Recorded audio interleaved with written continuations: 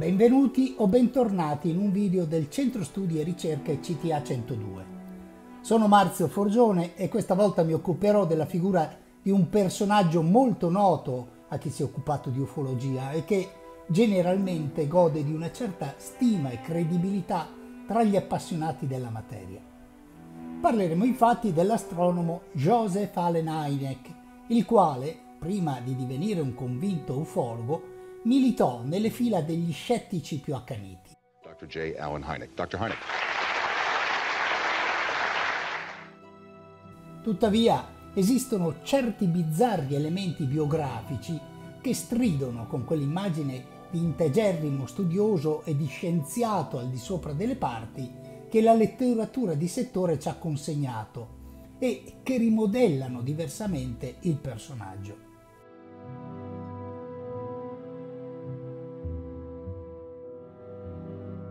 Fu nel 1966 che lo stimato astronomo Joseph Allen Hynek si trasformò, e pare improvvisamente, da determinato, implacabile critico ad ardente apostolo del Vangelo degli UFO. Già consulente di lunga data del Project Blue Book e noto negli Stati Uniti per il suo atteggiamento scettico verso gli UFO, Hynek cominciò improvvisamente a dire a chiunque lo ascoltasse che il fenomeno UFO meritava un serio esame scientifico.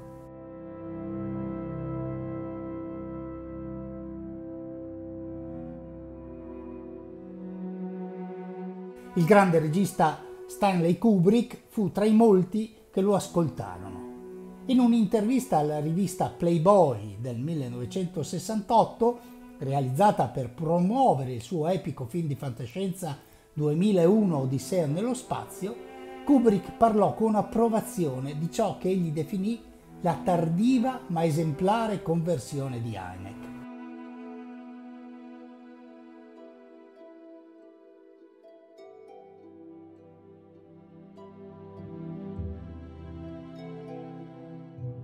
In realtà questa conversione non pare affatto essere quell'evento eccezionale che tanto stupì gli ufologi.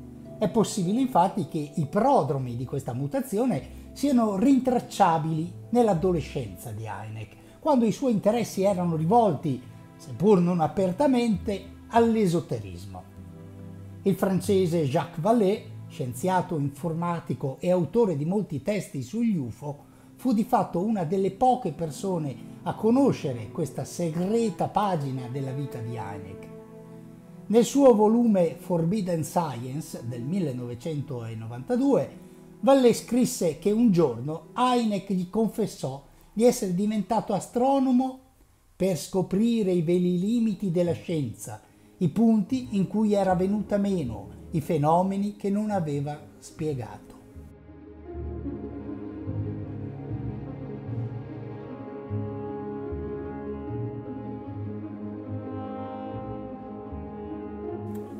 Fatto sta che il pubblico eh, cambiamento di idea dello scienziato conferì un grande impulso al movimento UFO, attribuendogli una certa dose di credibilità e conferendo contemporaneamente ad Heineck la fama di principale esperto nazionale sui dischi volanti.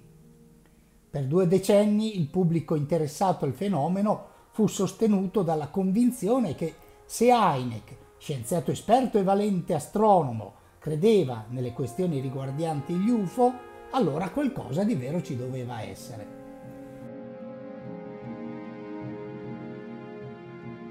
Dunque, chi era Joseph Allen Hynek? Nato da genitori di origine ceca nel West Side di Chicago il primo maggio del 1910, curiosamente solo pochi giorni dopo che la cometa di Halley aveva virato intorno al Sole, il giovane Joseph fu ben presto avviato all'interesse per l'astronomia grazie alla madre Berta, insegnante in un liceo locale. Nel libro di Theodore Birtland, The Scientific Life del 1962, Heineck racconta Quando avevo sette anni ebbi la scarlattina e fui messo in quarantena con mia madre nel nostro appartamento al numero 15 di Ayers non c'era niente da fare se non leggere e poiché ero molto giovane, mia madre lesse per me.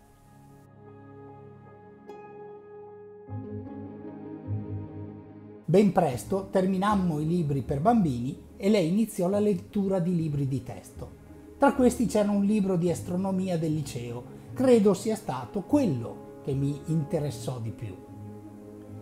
Evidentemente però i libri di testo di astronomia non bastavano a fornirgli le risposte che voleva e così, da pedante adolescente, Heineck iniziò a studiare quelli che lui definì argomenti esoterici.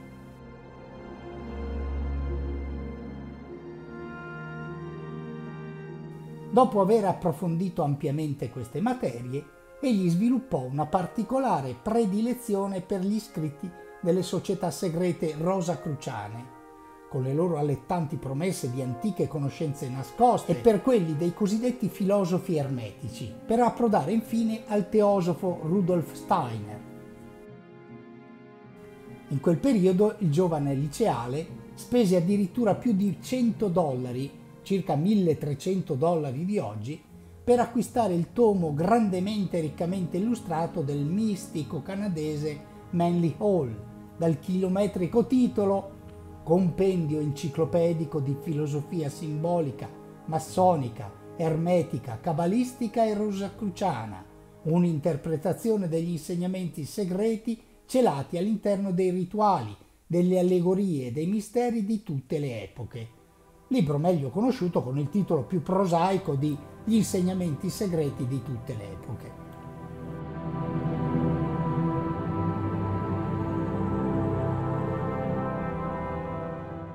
Di questo Heineck ne parlò a Jacques Vallée confessando tutti i miei amici studenti pensarono che fossi pazzo per il solo fatto che non avevo comprato una moto come invece avevano fatto tutti loro. In ogni caso Fu in quest'ambito che, per scoprire i veri limiti della scienza, Heineck decise di intraprendere la carriera di astronomo. Dopo il conferimento della laurea presso l'Università di Chicago nel 1931, Heineck proseguì verso il dottorato in astronomia. Lavorò sulla sua tesi di dottorato intitolata Studio quantitativo di certe fasi dello spettro di tipo F, presso lo Hirkers Observatory, una sorta di tempio romanico di astronomia sulle tranquille rive del lago di Ginevra nel Wisconsin. In un'intervista di Ian Ridpath in The Scientist del 1973, Heineck affermò che in quel periodo di pseudo-vita monastica a Hirkers il tutto aveva una sorta di qualità mistica. Immagino che questo non lo si dovrebbe dire in relazione alla scienza, ma ero così totalmente assorbito nella vita dell'osservatorio che a malapena avevo sentito parlare di Hitler.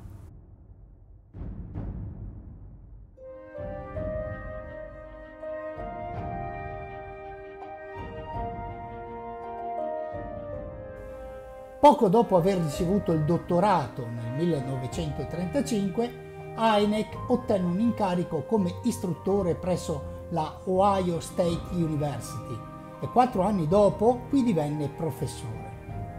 Nel 1948 stava ancora insegnando presso questo Ateneo quando un trio di ufficiali dell'Air Force gli si avvicinò. Cercavano uno scienziato per aiutarli a risolvere un problema sconcertante che si era inaspettatamente presentato. Volevano incaricarlo di occuparsi di quello che diverrà il caso per eccellenza nella storia dell'ufologia, quello che segnerà l'inizio dello studio sistematico di questa complessa e controversa materia. È il 24 giugno 1947. Un uomo d'affari di nome Kenneth Arnold aveva riferito di aver visto una formazione di oggetti luccicanti passare davanti il monte Rainer mentre era in volo con il suo aereo privato. Nelle settimane seguenti, il presunto avvistamento di Arnold, centinaia di persone affermarono di aver osservato simili dischi volanti. Temendo che questi cosiddetti dischi potessero essere degli aerei sovietici, i funzionari della US Air Force costituirono subito, all'inizio del 1948, il Project Sai, una commissione di studio che si proponeva di investigare il fenomeno. Hynek fu quindi reclutato per essere il consulente astronomico di questo progetto.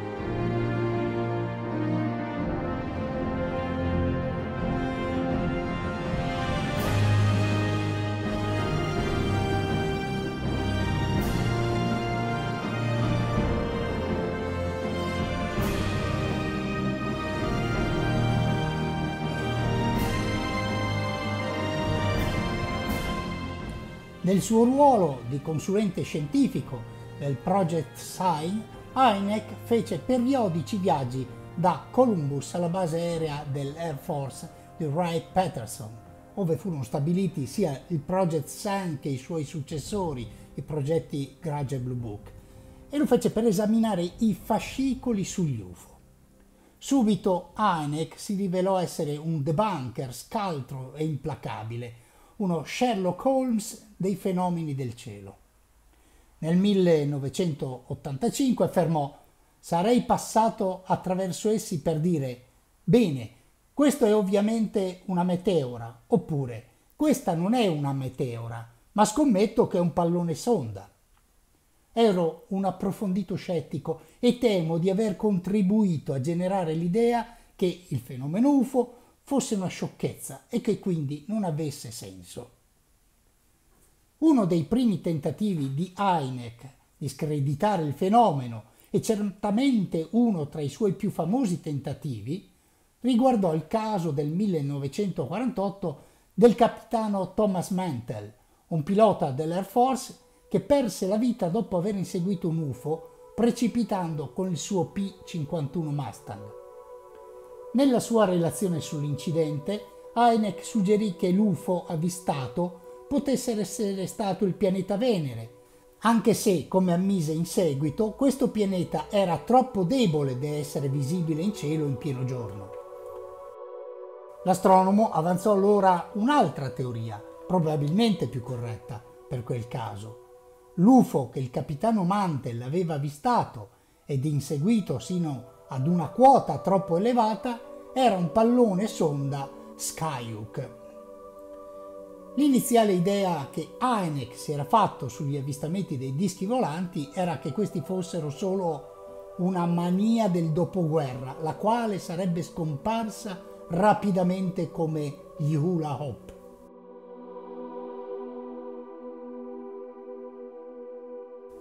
Ma i rapporti sugli UFO continuavano ad arrivare, mentre il governativo Project Sign mutò prima nel Project Grudge nel 1949 e poi nel 1952 nel celeberrimo Project Blue Book. Durante quest'ultimo anno un'ondata di avvistamenti UFO aveva indotto Heineck ad iniziare a riconsiderare le sue opinioni in materia. Apertamente egli aveva ipotizzato che gli UFO potessero essere un nuovo tipo di fenomeno naturale che soprannominò luci serpeggianti notturne. Le idee possibiliste dell'astronomo risultarono talmente evidenti che il capitano Edward Rappelt, primo direttore del Project Blue Book, giudicò Heineck essere eccessivamente pro UFO. L'astronomo giustificò allora questo cambiamento del suo pensiero imputandolo a due elementi fondamentali. Il primo era posto in relazione all'atteggiamento completamente negativo e inflessibile dell'Air Force. Disse che ogni cosa doveva avere per l'aviazione una spiegazione. Cominciai a risentirmi di questo, anche se fondamentalmente la pensavo allo stesso modo perché sentivo che non stavano affrontando il problema nel modo giusto.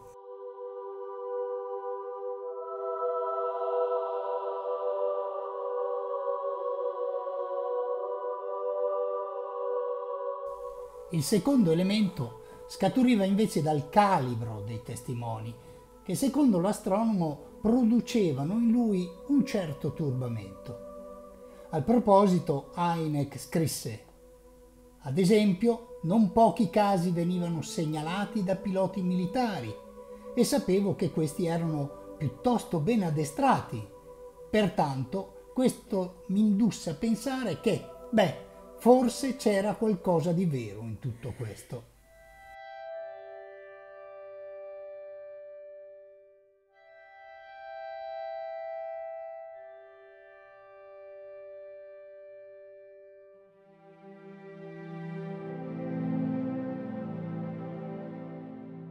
È agli inizi del 1960 che Heineck cominciò ad affermare, seppur da dietro le quinte, che gli UFO meritavano un serio esame scientifico.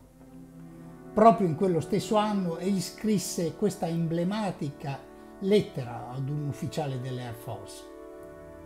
Voglio solo ricordarti che meno di due secoli fa l'intera questione delle meteoriti venne esclusa dalla considerazione dell'astronomia ufficiale perché i racconti delle pietre che cadevano dal cielo erano considerati come storielle da vecchie comari.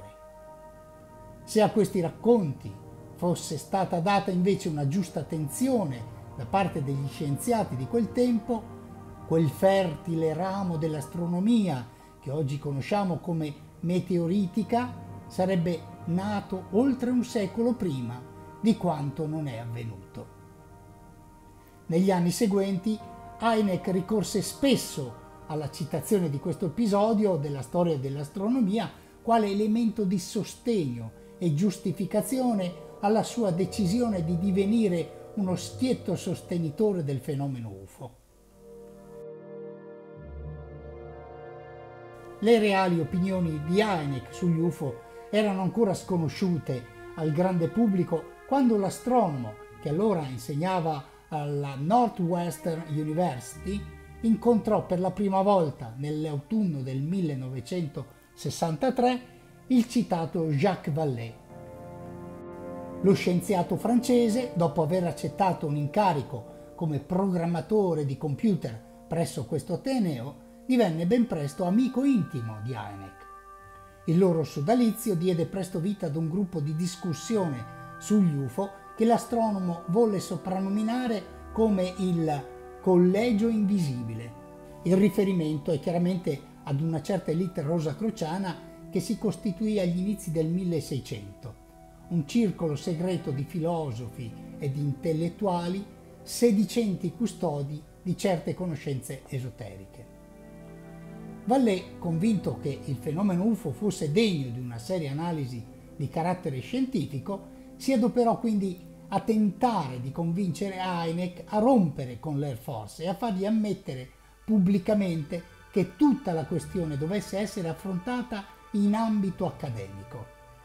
Tuttavia il consulente scientifico di lunga data del Project Blue Book, che rimaneva ancora noto come un fedele critico degli UFO, resistette ostinatamente a questo consiglio.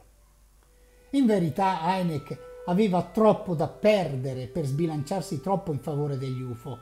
Fino ad allora aveva infatti goduto di una reputazione di tutto rispetto in ambito astronomico, grazie alla pubblicazione di un considerevole numero di articoli scientifici su riviste di settore, sebbene a onor del vero la sua maggior fama dipendesse più dal suo lavoro dietro una scrivania che dalla sua attività con il telescopio.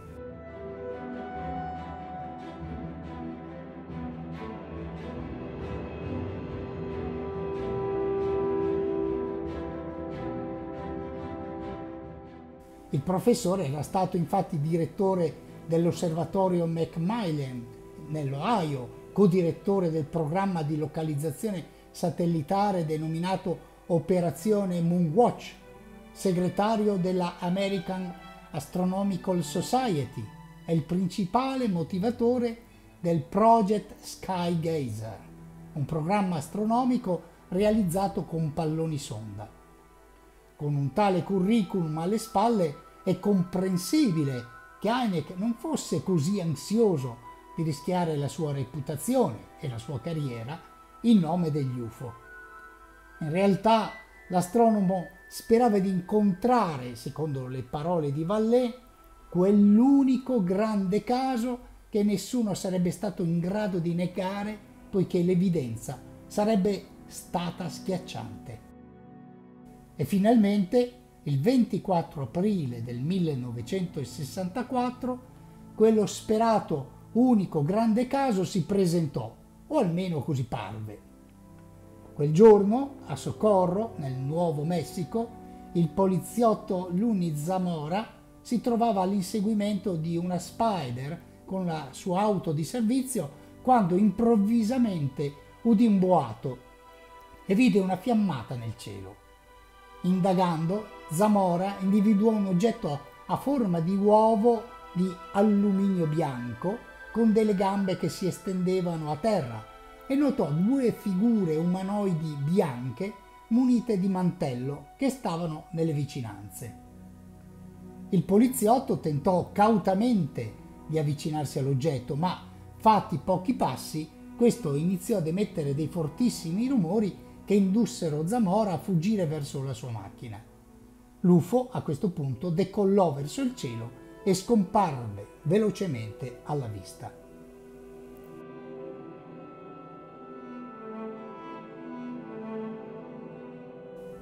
Incalzato dai mezzi di informazione, il maggiore Hector Quintanilla, direttore del Project Blue Book, fu costretto a convocare AENEC a Socorro per indagare sul presunto avvistamento.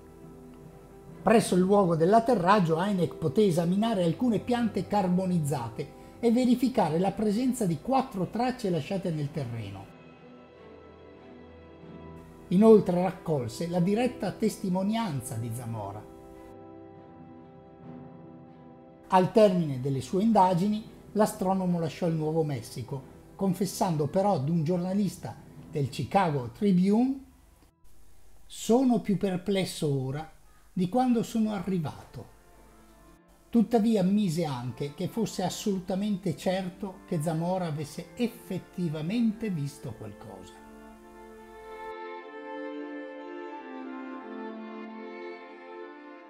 Malgrado questo evento, che Heineck e Vallée posero spesso al centro dei loro confronti, l'astronomo rimase comunque riluttante a confessare pubblicamente di essere pro-UFO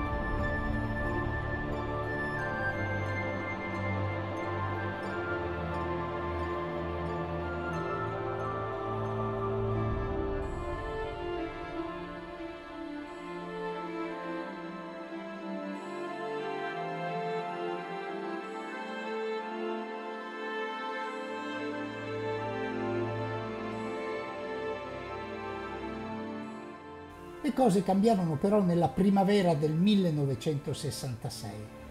Il 20 marzo di quell'anno decine di persone riferirono di aver avvistato degli oggetti incandescenti librarsi su una palude nei pressi di Ann Arbor, nel Michigan, e la notte seguente 87 studenti del Hillsdale College, sempre nel Michigan, affermarono di aver visto strane luci rosse bianche e blu. Gli avvistamenti del Michigan ricevettero una massiccia copertura mediatica e il maggiore Quintaniglia, ancora una volta, inviò sul campo Heineck, il quale si precipitò in Michigan e condusse la sua indagine in un clima di semisteria, perseguitato quasi ad ogni suo passo da giornalisti e cameraman. Dopo aver intervistato 32 testimoni e conferito con diversi professori dell'Università del Michigan, Heineck concluse che almeno due degli UFO del Michigan potevano essere ricondotti ad esalazioni di gas di palude, perciò ai cosiddetti fuochi fatui.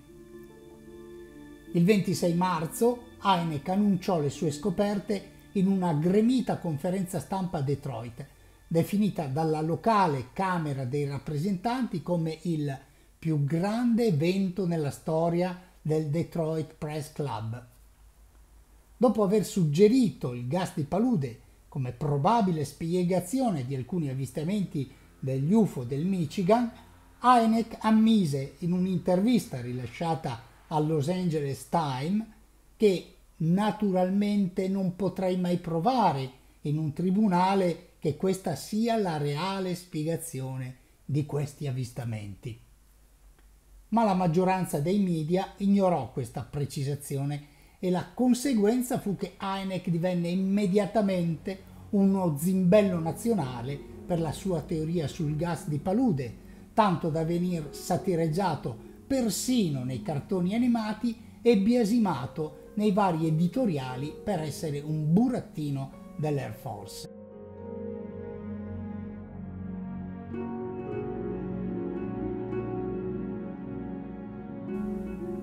La teoria del gas di palude di Heineck attirò pure l'attenzione e le ire di Gerald Ford, il potente deputato repubblicano del Michigan e futuro presidente degli Stati Uniti. In risposta, Ford chiese subito al Comitato dei Servizi Armati della Camera degli Stati Uniti di indagare sul fenomeno UFO, dichiarando che il pubblico americano meritava una spiegazione migliore di quella finora proposta dell'Air Force. Ovviamente la spiegazione a cui alludeva Ford era esattamente quella fornita da Heineck. Il desiderio del leader della minoranza della Camera era equivalente a un comando e così l'udienza sugli UFO ebbe luogo solo una settimana dopo che l'ex presidente americano aveva fatto la sua richiesta. Il 5 aprile 1966 Heineck operò la sua prima rottura pubblica con l'Air Force e lo fece cogliendo coraggiosamente l'occasione della sua testimonianza davanti alla Commissione delle Forze Armate.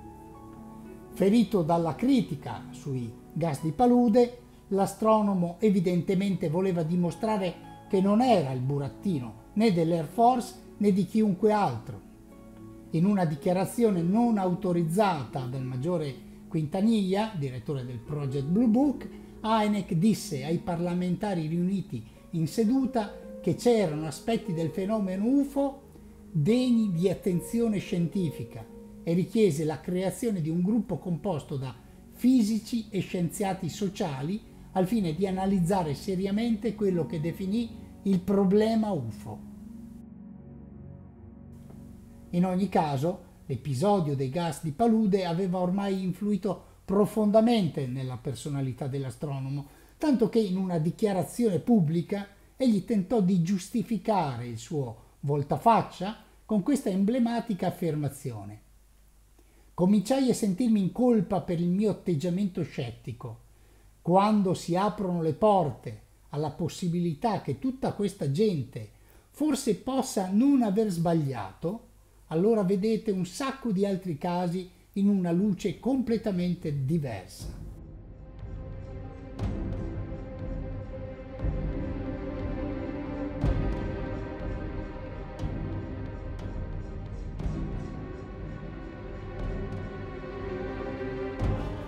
Tuttavia, come avevamo detto, l'atteggiamento scettico di Heineck era in realtà una facciata d'uso pubblico. Infatti, come qualche critico aveva rilevato, era certamente possibile che un ex studioso di esoterismo, come lo era stato lui, fosse piuttosto aperto a nozioni stravaganti. Heineck, ad esempio, come testimonia Jacques Vallée, aveva sostenuto che ci fossero piani di esistenza al di là di quello fisico e aveva pure ammesso presunti casi di chirurgia psichica e di fotografia psichica.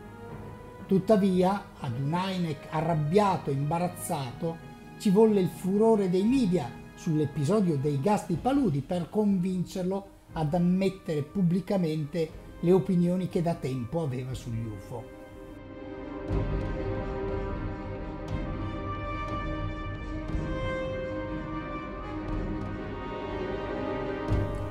Fu sicuramente una decisione rischiosa per Heineck, sebbene non così tanto come lo sarebbe stata se l'avesse presa pochi anni prima. In ogni caso, da allora la carriera di astronomo di Heineck si arrestò nel mezzo di una grande strada aperta. Come già anticipato, nel 1957 Heineck aveva promosso, in collaborazione con l'Air Force, un programma basato sul lancio di palloni sonda per l'astronomia, in seguito denominato Project Stargazer. Il piano era quello di inviare degli aerostati equipaggiati con dei telescopi al di sopra degli strati più bassi dell'atmosfera, quelli che causano la distorsione delle immagini. Purtroppo una serie fallimentare di lanci di prova spinsero l'Air Force a rottamare il Project Stargazer nel 1963. La decisione fu devastante per Heineck, il quale sembrava aver puntato tutta la sua carriera professionale sul successo del progetto. In una graffiante relazione finale per l'Air Force, l'astronomo non si trattenne.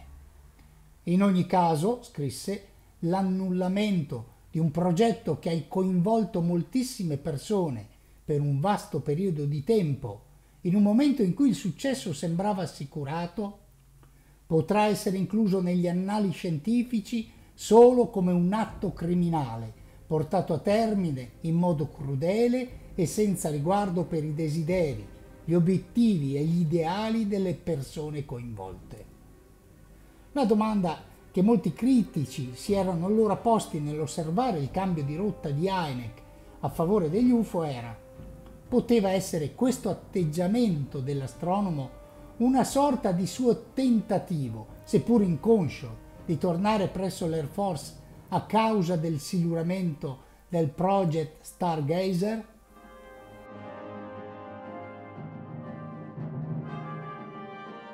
Come Heineck aveva raccomandato durante la sua testimonianza al congresso, l'Air Force si decise a finanziare immediatamente uno studio scientifico sugli UFO scegliendo il rinomato fisico Edward Condon dell'Università del Colorado a dirigerlo.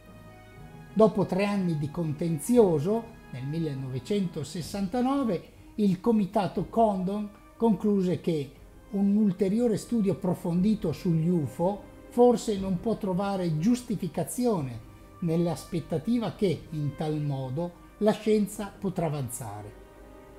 Naturalmente, come era prevedibile, Heineck respinse la relazione della Commissione definendola una perdita di tempo.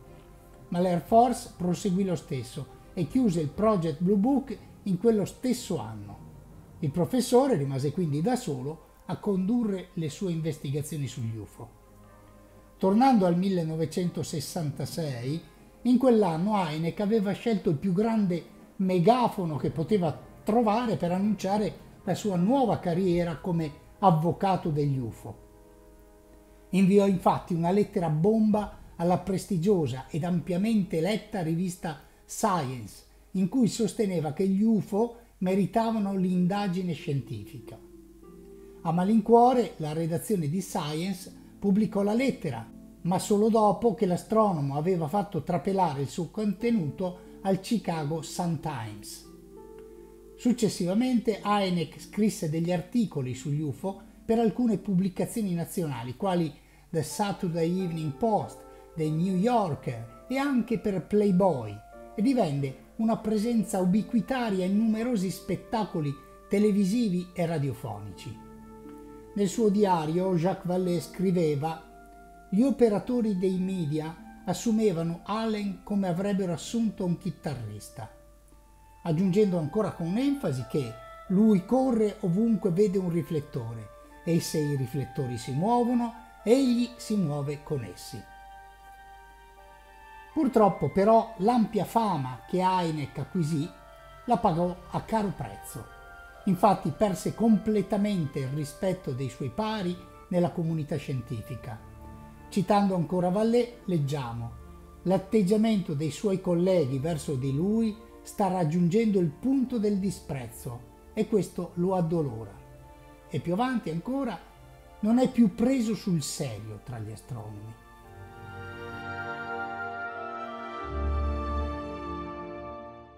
Determinato a dimostrare ai suoi colleghi che sbagliavano, Heineck iniziò a lavorare su un libro che a sua detta avrebbe conferito un approccio scientifico allo studio sugli UFO.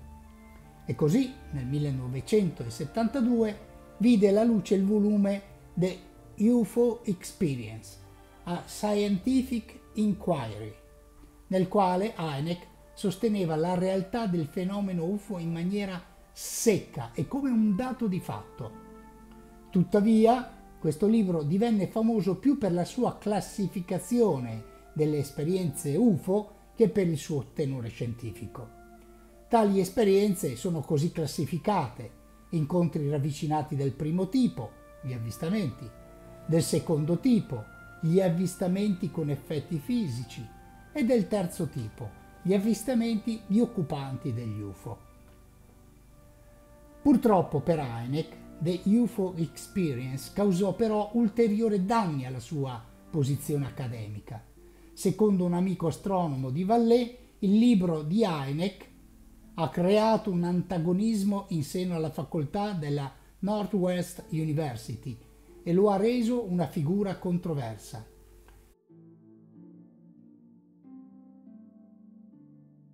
Nonostante un'onesta recensione in Science Magazine, molti professori hanno ritenuto che la reputazione della scuola sia stata contaminata.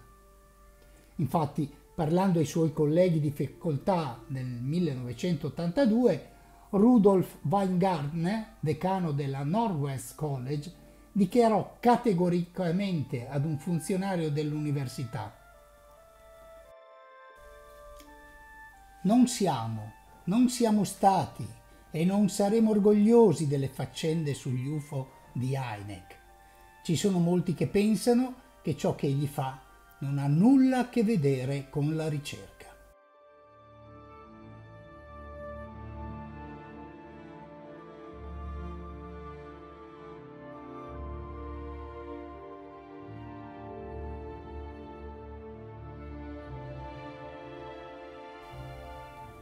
Di fatto, per quanto Heineck si fosse davvero impegnato a fondo per ripristinare la sua posizione scientifica, con il suo atteggiamento tenuto nel corso dei primi anni 70 non aveva di certo favorito le cose.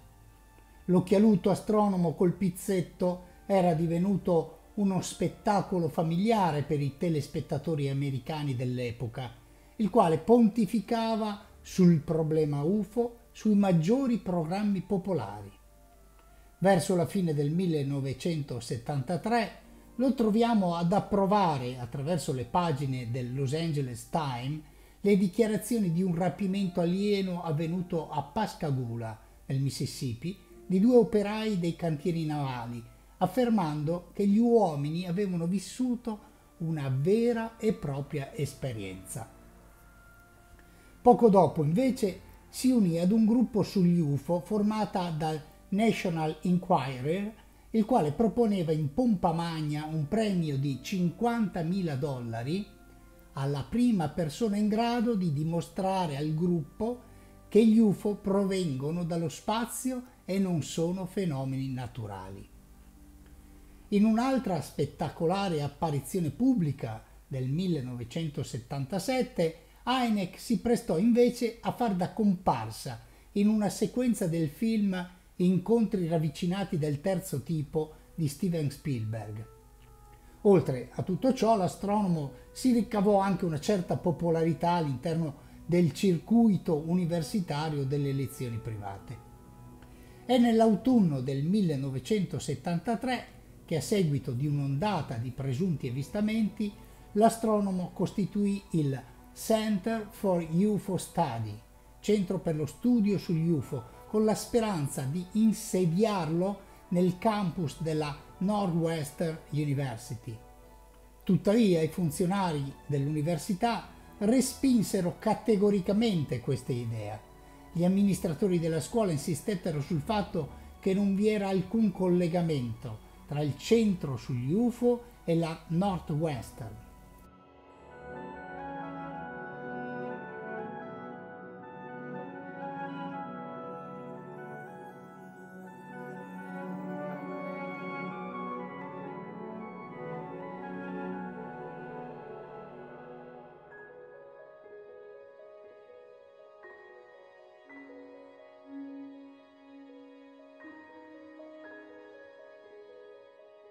Ad Heineck non fu nemmeno permesso di usare il suo recapito postale presso la Northwestern per ogni corrispondenza correlata al suo centro.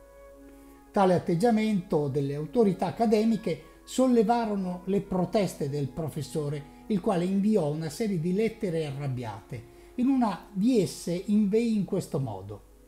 Francamente sono abbastanza in imbarazzo a dire che l'università è stata così conservatrice da non vedervi il potenziale sia per la scienza che per la pubblicità e naturalmente sono personalmente offeso dall'insinuazione che il soggetto sia una pura sciocchezza e che chiunque sia collegato ad esso sia un pazzo, per dirla schiettamente. Ritiratosi dalla Northwestern nel 1978, Heineck si immerse completamente nelle attività del suo centro per lo studio sugli UFO. Pur avendo una buona e comprovata esperienza come organizzatore di raccolta fondi, era riuscito a ottenere denaro da donatori privati per il Lindheimer Astronomical Research Center della Northwestern, Heineck faticava a dare una solidità finanziaria al suo centro ufologico. Ricchi aspiranti benefattori spesso lo allettavano con offerte di sostegno monetario, ma alla fine lo abbandonavano a se stesso. Infine, nel 1984, Heineck si decise ad imballare i suoi file di ricerca e a trasferire il suo centro sugli UFO a Scottsdale in Arizona, attirato lì da un ricco inglese con promesse di denaro e l'uso della sua lussuosa abitazione.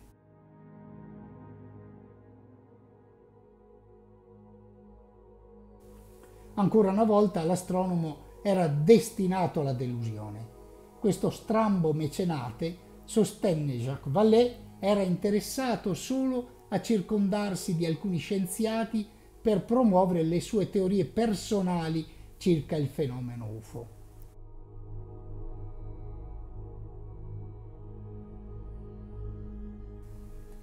Ma quali erano davvero le idee di Heineck sugli UFO? Di fatto il professore risultava essere spesso piuttosto evasivo quando gli veniva chiesto di spiegare le sue teorie sulla natura degli UFO. Nonostante la sua apparizione nel 1977 in incontri ravvicinati del terzo tipo, da allora aveva iniziato a respingere l'idea che gli UFO fossero veicoli spaziali fatti di dadi e bulloni e pilotati da extraterrestri. Infatti, come molti commentatori hanno rilevato, i suoi studi esoterici lo avevano portato in una direzione molto diversa. Già nel 1967 aveva ipotizzato che gli UFO potessero essere dispositivi di osservazione di abitanti di un altro universo che si materializzano nel nostro mondo.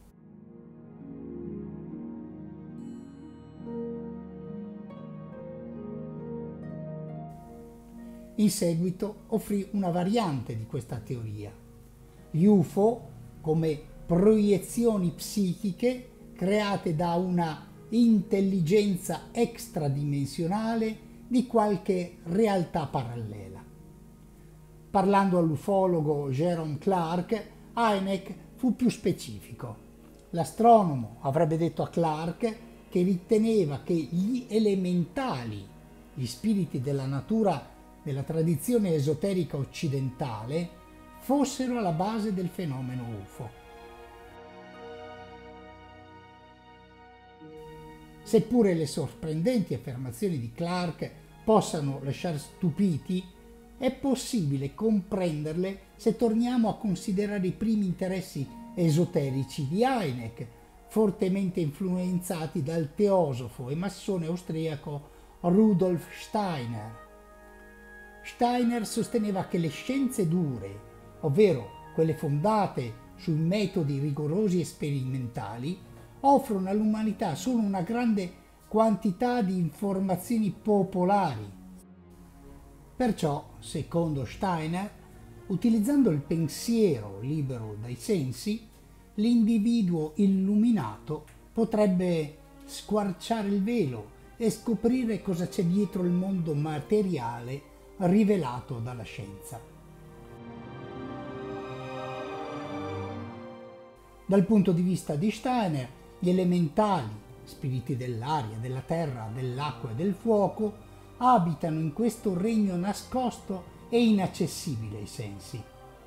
Quindi, se Heineck ha effettivamente creduto che gli UFO fossero spiriti della natura, egli avrebbe potuto specificamente identificarli con quest'ultima classe di elementari, ovvero quegli eterici e superiori esseri degli elementi.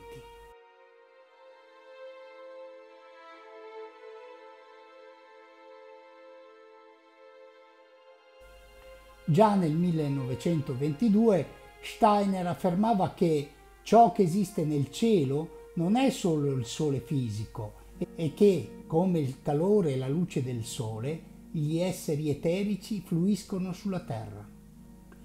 La domanda che quindi può nascere spontanea è, può essere possibile quindi che Heineck sospettasse che gli UFO non fossero altro che gli esseri eterici di Steiner che fluivano sulla Terra?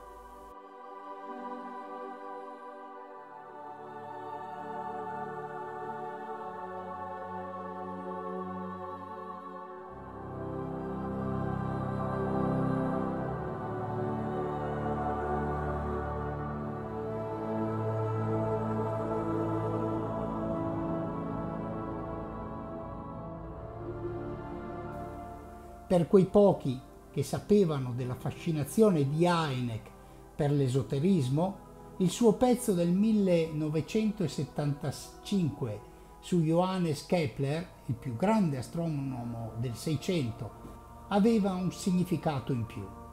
In questo breve articolo rivelatore, Heineck sostenne che gli storici della scienza sbagliano nel liquidare la pratica astrologica di Keplero come qualcosa che egli fece solo per tenerla in vita e scrisse sia la sua astrologia di Keplero che l'astronomia crebbero e parteciparono al di fuori della sua profonda visione mistica.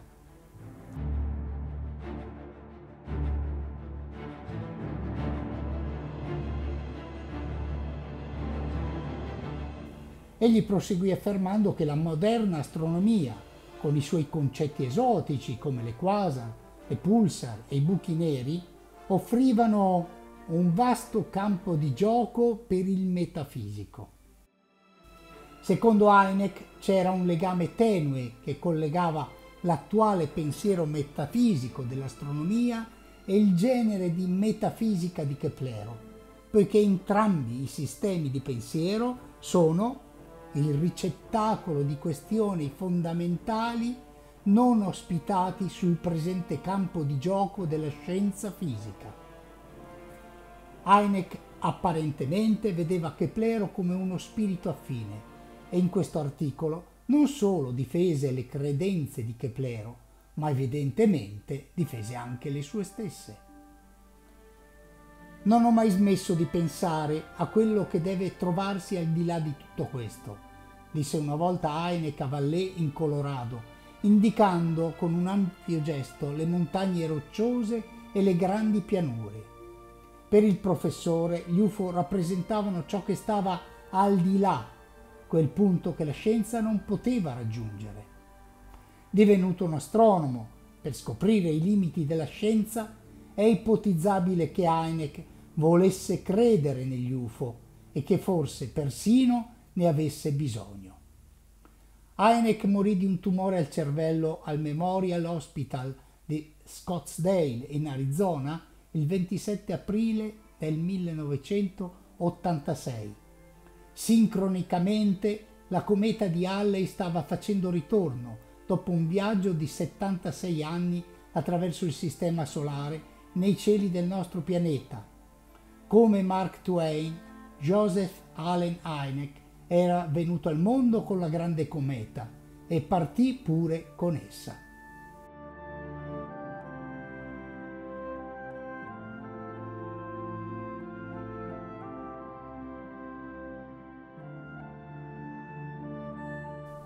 Grazie di essere rimasti con noi fino alla fine. Se vi piacciono le nostre attività e volete aiutarci a crescere e a migliorare, iscrivetevi, commentate e condividete. E se volete sostenerci, nel box informazioni troverete tutti i link utili. Grazie e alla prossima!